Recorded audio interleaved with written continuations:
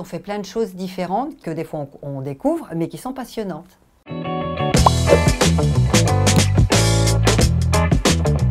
Dany Saunier, déléguée régionale Nouvelle-Aquitaine. C'est à nous de gérer ce qui arrive du national et c'est à nous de dispatcher, de l'accompagner dans les associations départementales. Euh, le rôle du délégué régional, c'est aussi d'animer l'équipe régionale avec euh, tous ces bénévoles qui accompagnent sur le terrain les associations départementales. C'est très diversifié et il y a plein de choses, plein de choses à découvrir et on est aussi, nous, ceux qui doivent être en lien avec les institutions régionales. Donc ça, c'est encore un autre volet. Donc en fait, on fait plein de choses différentes qui sont, euh, que des fois on, découvre, mais qui sont passionnantes.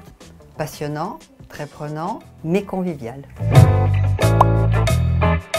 Semaine. Plutôt journée entière, mais certains jours quelques heures. Les deux. Les deux avec euh, peut-être un peu plus expertise réaliste.